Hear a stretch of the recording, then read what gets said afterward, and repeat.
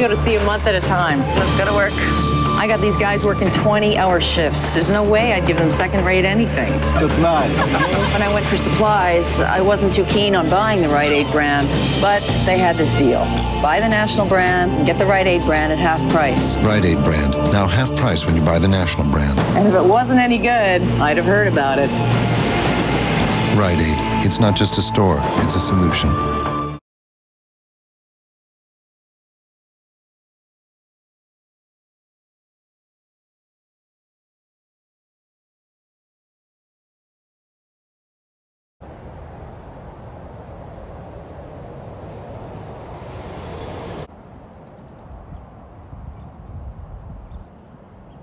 Hello everyone.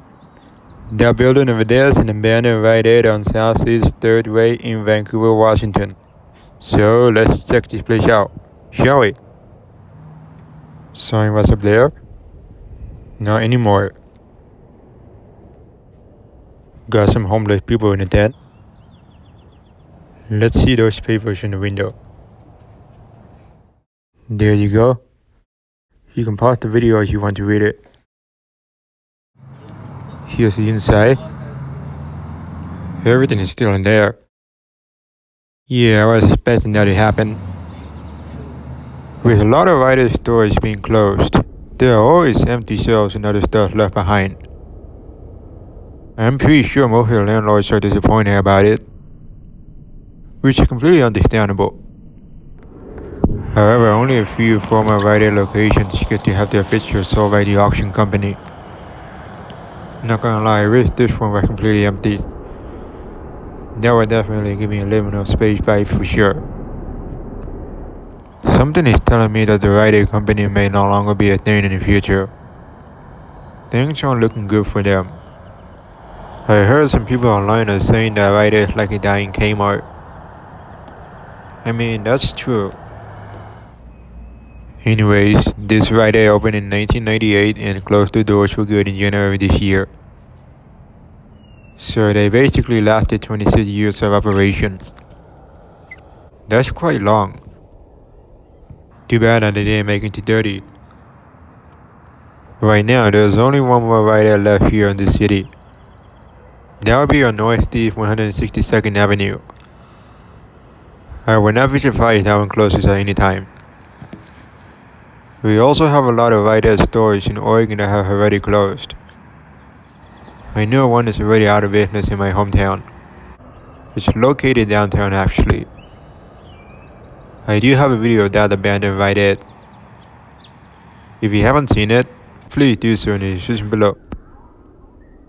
I don't know if I'll be able to cover the others in the near future. I'll do my best if I reach those certain cities. Here you got the drive-thru pharmacy. Obviously no longer in service. More window pics. Got the mic. Here's the inside view of the old pharmacy. I read that the service was bad according to the reviews. Oh wow, check this one out. They still have power. That's pretty cool. You know what? The white circle and the light on resembles a fried egg. Haha. I really love eating eggs for breakfast. They're always delicious as heck. Now let's check the old loading dock. A small window down there.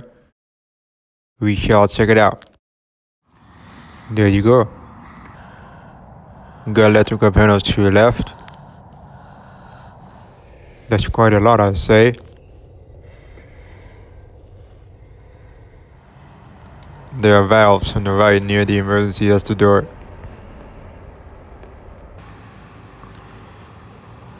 The dumpster area is a mess. Too bad. And that's pretty much it. Just gonna wrap it for a video. Make sure to give it a like, comment, share by doing so. And until next time, peace out.